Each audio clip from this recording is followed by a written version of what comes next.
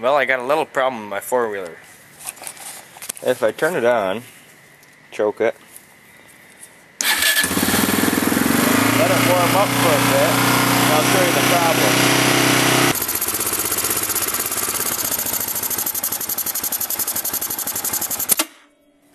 That problem right there. Sweet.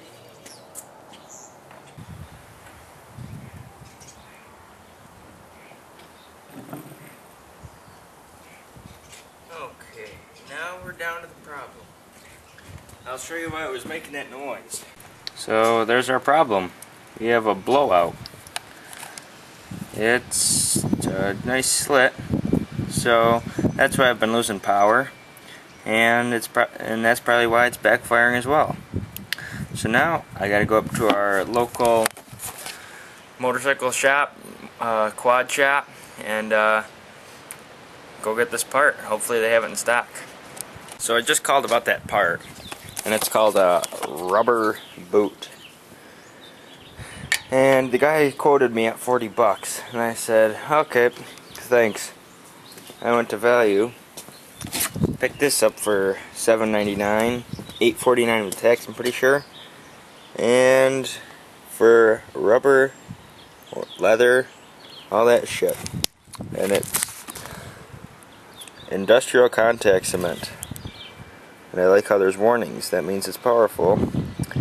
And then right here it says resist to gasoline. So shit. For eight bucks, we're gonna try it. Nice little rig right there. Put some pressure on it. And now we're gonna wait right in the sunlight. So let's test this sucker out. Don't know if this is gonna start. Turn the gas on. Don't see any dripping, so that's a good sign. Choke on.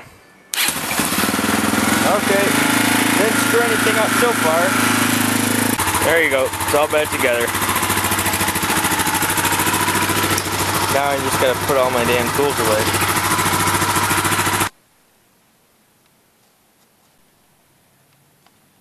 Well, you're probably wondering why this thing's all apart again. Well, the boot. The problem that I had before. It uh, that rubber cement didn't work too good. I mean, it worked for about two weeks, flawless, and until uh, I was finally riding it. A big backfire happened. I said, "Oh shit, that boot must be freaking ripped again."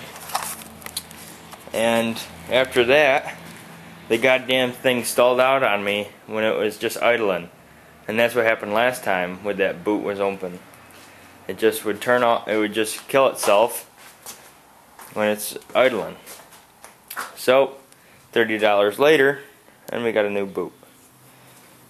So, we got it all apart. Now for the new boot.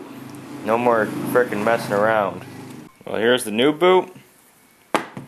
And here's the old boot. This one's torn to hell.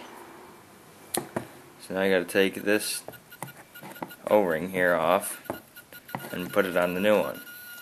Well, we just got the gas tank on, and holy shit, getting that freaking gas line back on was a bitch.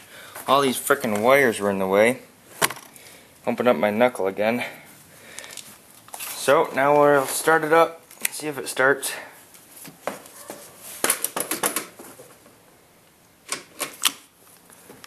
There we go, choke. Cool. Hasn't ran in about two weeks. Sweet. And it's all back together.